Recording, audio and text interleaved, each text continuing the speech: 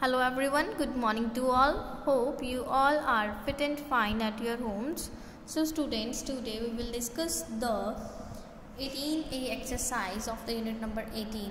So let's start from the book. Open the page number 159 and the question number 6 question number five तो one two five तो हमारे हो गए थे ना स्टूडेंट्स लास्ट असाइनमेंट में now We will start from the question number 6 and the sixth question is a swimming pool of length 25 meter breadth 15 meter and height 2 meter is 3 fourths full of water find the volume of water in the pool तो students उन्होंने बोला है question में क्या कहा गया है वो कह रहे हैं कि स्विमिंग पूल है ठीक है उसकी लेंथ गिवन है 25 मीटर ब्रेथ गिवन है 15 मीटर एंड हाइट है 2 metre clear is three fourth full of water उसका जो पूल का थ्री फोर्थ पार्ट है वो वाटर से फुल है ठीक है? Find the volume of the water in the pool तो वाटर का वॉल्यूम क्या होगा पूल के अंदर? तो स्टूडेंट्स वॉल्यूम ऑफ़ पूल क्या होगा हमारे पास? क्यूबवाइड है ना ये हमारे पास क्यूबवाइड की फॉर्म में? सो so, वॉल्यूम क्या होगा इसका? Length multiply by breadth multiply by height ठीक है? तो ये आपके पास मल्टीप्लाई करने पे आएगा। फिफ्टीन टू ज़ा थर्टी ट्वेंटी फाइव को अगर आप थ्री से करोगे फाइव थ्री से fifteen three six seven multiply by ten करोगे तो सेवन फिफ्टी ठीक है? तो आपके पास सॉल्व करने पे आया seven fifty metre cube seven hundred fifty metre cube ये आपका आ गया वॉल्यूम ठीक है? देन उन्होंने बोला है कि ये पूरे पूल का वॉल्यूम आया, पूरे स्विमिंग पूल का बट उन्होंने बोला कि हमें वाटर का फाइंड आउट करना और वाटर जो है वो पूल का थर्ड फोर्थ फुल है। तो थ्री फोर्थ है three by four multiply by जो वॉल्यूम आया सेवन फिफ्टी क्लियर तो इसको जब हम सॉल्व करेंगे तो हमारे पास आंसर आएगा इसका five six two five hundred sixty two decimal five ठीक है? तो ये हमने क्या किया उसका वाटर का वॉल्यूम है वो भी मीटर क्यूब में ही आएगा। क्लियर स्टूडेंट्स आप इसकी कैलकुलेशन करके देखोगे 75 को थ्री सॉरी 750 को आप थ्री से मल्टीप्लाई करने के बाद जो आंसर आएगा उसे फोर से डिवाइड करोगे तो आपका आंसर आएगा 562 decimal five metre cube clear next question है students question number seven A biscuit packet of length 14 decimal 4 centimeter, breadth 10 centimeter and height 6 centimeter contains 36 biscuits. ठीक है? एक बिस्किट का पैकेट है आपके पास। उस बिस्किट की पैकेट की पूरे की लेंथ है 14 डेसिमल 4 सेंटीमीटर ब्रेथ है 10 सेंटीमीटर और हाइट है 6 सेंटीमीटर क्लियर और उसके अंदर नंबर ऑफ़ बिस्किट जो हैं वो कितने हैं? 36 उन्होंने बोला कि if the biscuits are packed with no space between them अगर बिस्किट के बीच में विदाउट एनी स्पेस हम उनको पैक करते हैं, कोई स्पेस नहीं रहती है then what is the volume of each biscuit then what is the volume of each biscuit तो वो बोल रहे हैं कि हर एक वन बिस्किट का वॉल्यूम क्या होगा यहाँ पर? ठीक है स्टूडेंट्स तो हमारे पास क्या है? तो स्टूडेंट्स अब हम पहले क्या करेंगे? बिस्किट के पूरे पैकेट की लेंथ ब्रेथ और हाइट दी हुई है तो हम पूरे बिस्किट के पैकेट का वॉल्यूम फाइंड आउट करेंगे, ठीक है? तो उसका वॉल्यूम क्या होगा? Length multiply by breadth multiply by height ठीक है? ये जो वॉल्यूम आएगा, आपका आएगा सेंटीमीटर क्यूब ओके देन उन्होंने बोला कि वन बिस्किट का आपने वॉल्यूम फाइंड आउट करना है, ठीक है? तो उसके लिए आपके पास ये पूरे पैकेट का वॉल्यूम आ जाएगा। उस पैकेट में कितने बिस्किट्स हैं आपके पास? थर्टी सिक्स बिस्किट्स हैं ना? देन जब आप इस इस वॉल्यूम को थर्टी सिक्स से डिवाइड करोगे तो आपके पास क्या आएगा? मीन्स ये थर्टी सिक्स बिस्किट्स का वॉल्यूम आया, अगर वो फुल पैकेट में थर्टी सिक्स है तो ये थर्टी सिक्स बिस्किट्स का वॉल्यूम है ना, पूरा पैकेट का जो वॉल्यूम है? तो अगर आप इसे थर्टी सिक्स से जब डिवाइड करोगे तो आपके पास वन बिस्किट का वॉल्यूम आ जाएगा।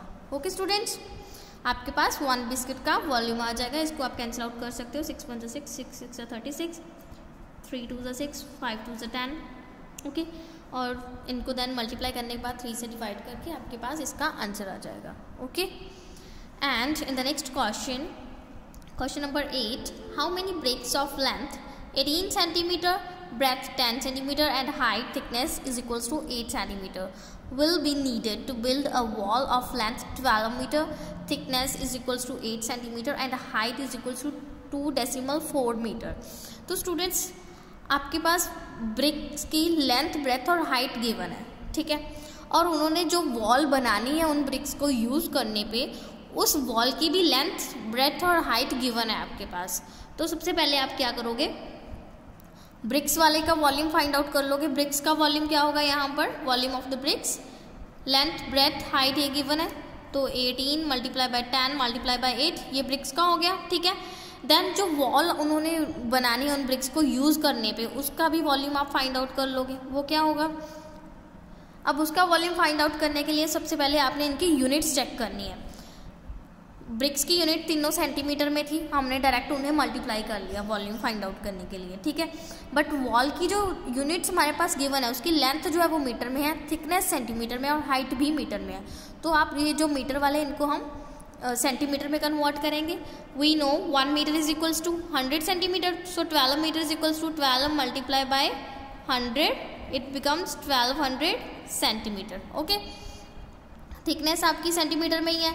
हाइट आपकी फिर से मीटर में है। आप इससे भी मल्टीप्लाई कर लोगे हंड्रेड से तो आपके पास ये सेंटीमीटर में आ जाएगी। Two forty centimetre clear then अब आप क्या करोगे? इनको डायरेक्ट मल्टीप्लाई कर लोगे। ये ओके स्टूडेंट्स अब आपके पास इसे सॉल्व करने पे ब्रेक का भी वॉल्यूम आ जाएगा और इसे सॉल्व करने पे आपके पास वॉल का वॉल्यूम आएगा। और जब आपके पास दोनों का वॉल्यूम सॉल्व करने पे आ गया तो आप पूरे वॉल के वॉल्यूम को लेंथ वाले सॉरी ब्रिक वाले वॉल्यूम से डिवाइड कर दोगे तो आपके पास क्या आ जाएगा? वहाँ से number of bricks will be needed to build that wall wall ठीक है? उस वॉल को बनाने के लिए कितनी हमारे पास ब्रिक्स चाहिए, हमें कितनी ज़रूरत है ब्रिक्स की तो वो इन दोनों को डिवाइड करने पे आपके पास आ जाएगा।